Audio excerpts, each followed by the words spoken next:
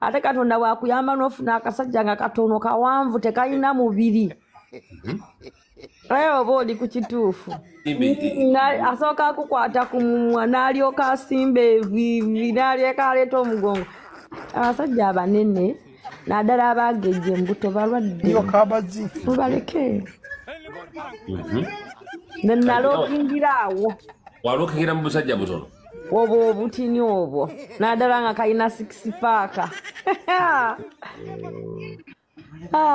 gakusimba evivi ako kasimba evivi ne kasinziira n'okuba enduulu nkutidde.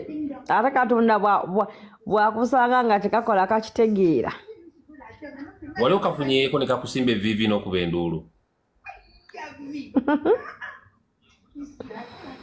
nja kufuna ate kakati kyokka doniasia naye ng'oli otya mu dubai. Dubai yakutambulidde ati ennaku zewakamumalamu Bina- binaakola binaatambula naba biganye nga nzirayo e uganda. Bagambye onoonya kiyumba oyagala fuka maama kiyumba aa njagala kugenda bugenzi mu kiyumba nkole ogutali musango nno. Oyagala genda mu kiyumba okole?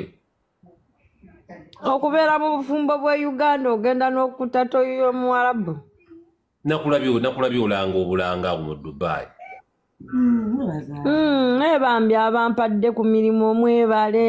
Twala omukisa guno okwebuuza muva bulaaya promotion muva bulaaya management Mm-hmm. Shanice Taylor's Beauty Empire. Uh, Mukasa